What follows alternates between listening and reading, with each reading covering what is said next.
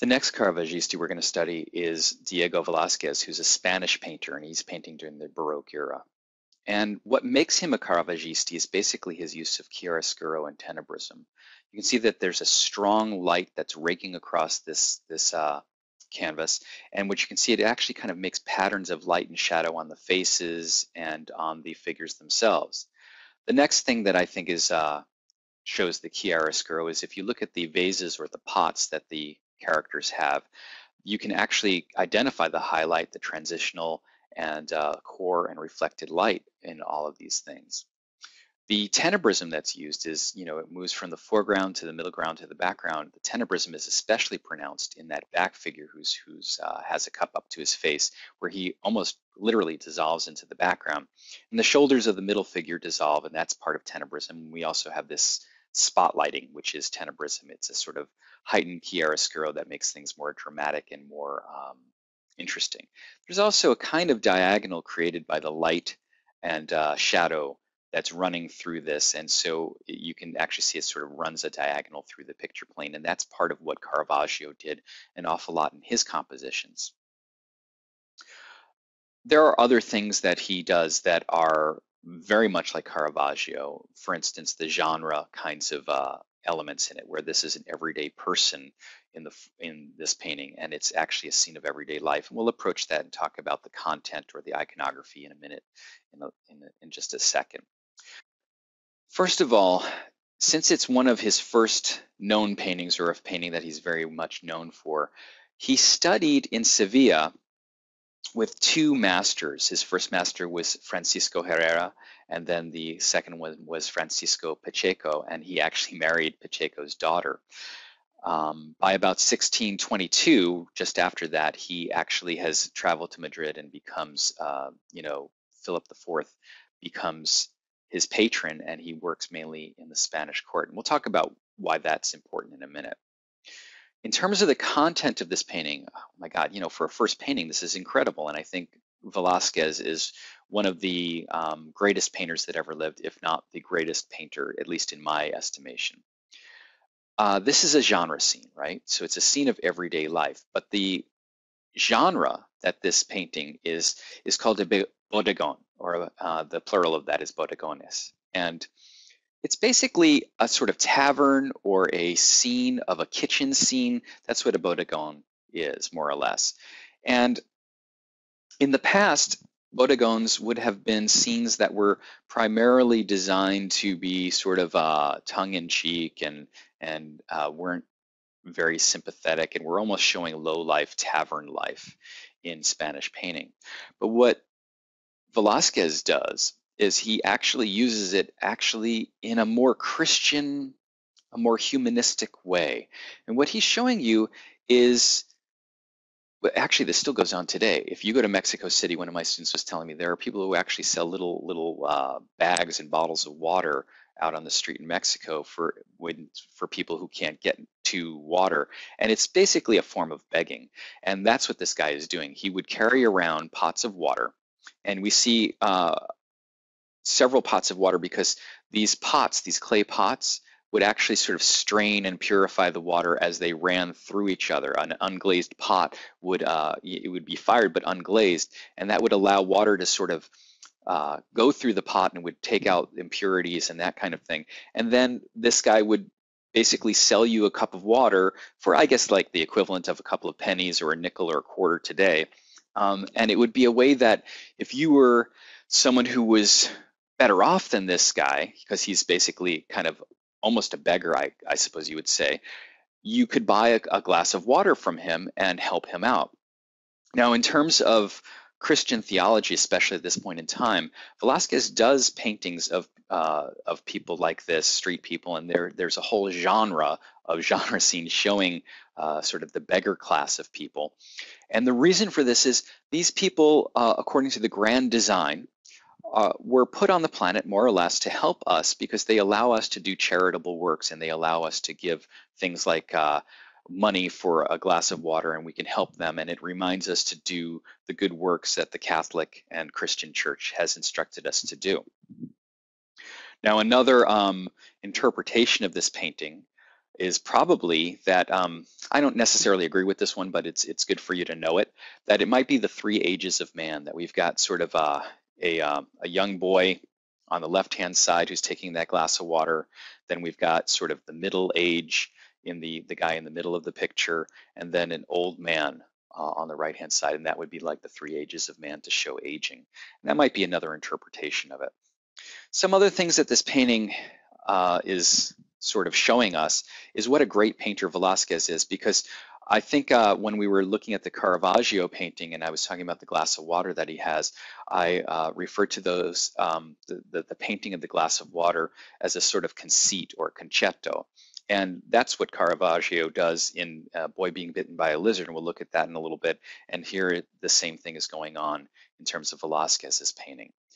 So this is one of the very first paintings early in his career that we that we know of, and it's probably one of the paintings that that earned him a little bit of fame. So he goes and he works at the court of Philip IV, and uh, let's take a look at, at what happens when he gets there. This painting that we're looking at, Las Meninas, also called the Maids of Honor, from much later. Remember, the other painting was about 1620 or 1619 or so.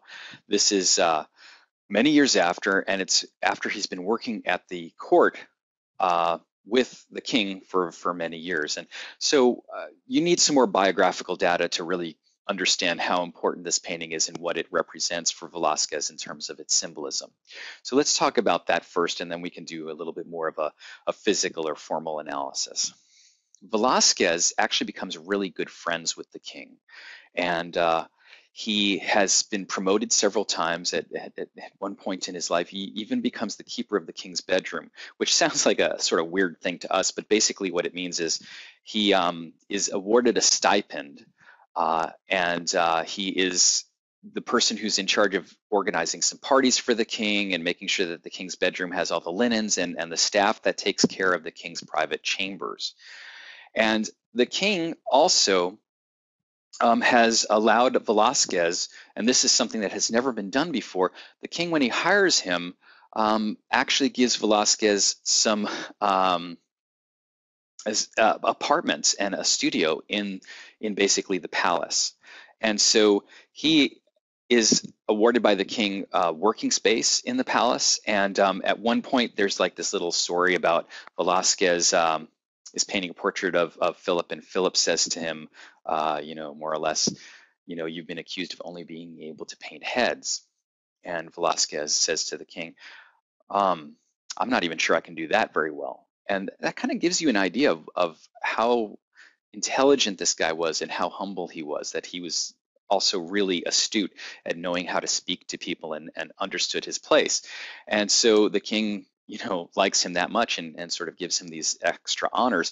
And at one point, the king actually sends him on a trip to Italy. And, and Velasquez met Peter Paul Rubens, the, uh, the Flemish diplomat who was also working for the French court uh, while he was in uh, Philip's court. And uh, they actually took a, a, trip to Italy together. And the king asked um, Velasquez to go and basically collect art for him in Italy all that kind of ties together in this painting. And I've gotten different uh, or conflicting stories about where this painting is located, uh, meaning the, the setting. Uh, one of my teachers, Professor Broderick, suggested that this was the King's Library and it would have been his art collection um, in, um, I think, El Escorial. Um, and I've also come up with other um, sources that have said that this might be Velasquez's studio. And the interpretations of this painting are also very varied. So I guess there aren't clear primary texts that explain what's going on in it, but I'll try to do an analysis for you and we'll figure out what is being depicted here. So from a formal point of view, first of all, you can see that there's a raking light from the upper right-hand corner from the window on the right-hand side. And this raking light that's moving across the, the painting creates a strong diagonal and sort of a zigzag pattern running through. In the very center of the composition is the Infanta Margarita, which is the king's daughter. And she is uh, sort of spotlit, the tenebrism, all the light, all the, the compositional elements sort of uh, converge on her and make her almost the center of the attention. Above her and uh, in that little square to the left, there's this sort of foggy little picture. Uh, and we think that might be a depiction, well, we know it's a depiction of Philip and his wife. And um, it might be a reflection, and we'll get into that in a little bit. So it could be a painting, it could be a, uh, actually a mirror reflection. Although if it was a, a, mirror reflection, it's done in an inaccurate way and therefore in a very symbolic way. We notice that there's a lot of earth tones, and this painting is very large. It's 10 by 9 feet, more or less. And it has a multi-layering in terms of the composition. The foreground the, the thing furthest forward is actually that dog in the foreground. And then we have on the right-hand side uh, these two figures. One of them is a female dwarf. Uh, the, the kid who's kicking the dog um, could be a dwarf or could be a, a, another child. Then we move back, and Infanta Margarita has on the left and the right hand sides of her uh, the maids of honor, who are basically, you know, her attendants. And then there are some clergy. There, uh, there's a nun and I think a cardinal or a priest who's sort of in the middle ground. On the left hand side, sort of almost in the middle ground, sort of uh, just behind the just behind the level that Margarita is, is Velasquez painting the portrait, and we can see on the left-hand side, there's actually the back of his canvas facing us. And then spotlit in that doorway is the, um, I was taught by Professor Broderick that that's actually the King's treasure. When I looked at my notes, that what I, that's what I had from undergrad. Um, but uh, one of the other sources, Tim Marlow, there's a great video by him. It's a 20 minute video, and I think you can get it on Netflix. Of um, it, it could be the king's sort of um, the keeper of the of the accounts and also the basically the house manager of the court. So he was basically sort of the person who oversaw um, how the, the palace was kept. And it's kind of interesting. I like the idea that it might be the, the treasurer because he has this sort of halo of light around him. So let's analyze it a little bit more in depth and talk a little bit more about what's going on in terms of this painting, in terms of the iconography, because I think that some of that stuff is really relevant in how we uh, are thinking about this painting. So we have a room. We don't know if it's the library or if it's actually uh, Velasquez's studio, and we see Velasquez painting and we're not really sure what all that means. But let me go through the traditional interpretation of it. Um, you know what what my professors have suggested that it's sort of a smoke and mirrors kind of game.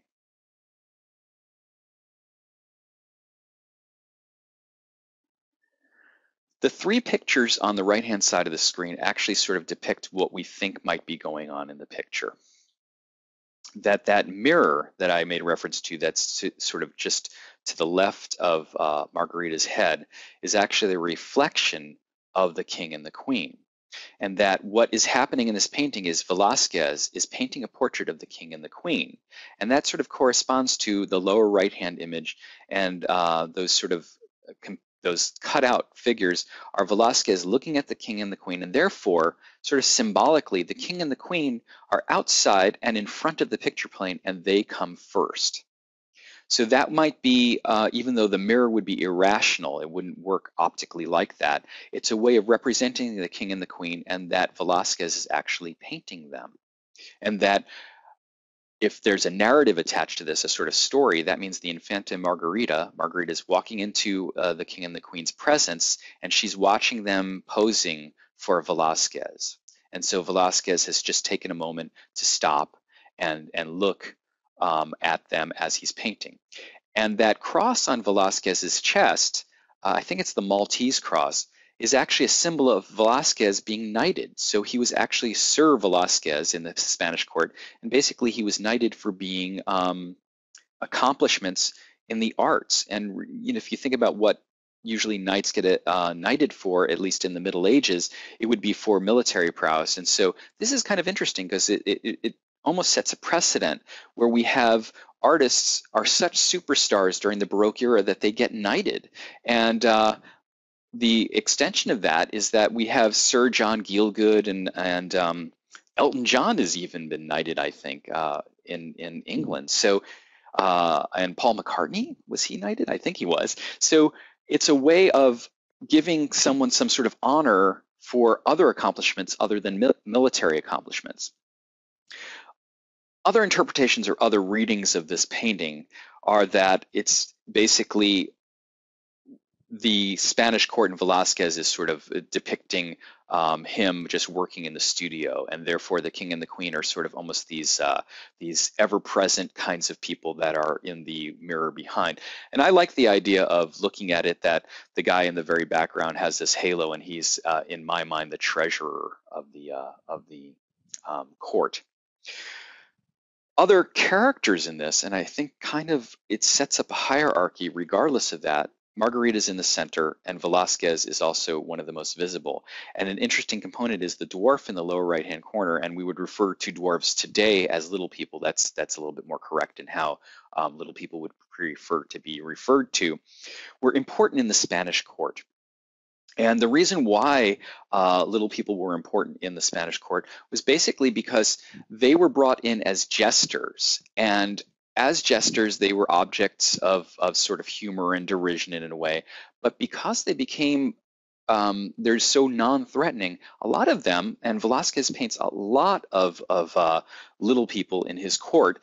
Um, he paints them in a very humanizing way, and because they actually had some sway and some influence, and they were real people, because nobody was really threatened by them, but they were privy to a lot of information and a lot of knowledge.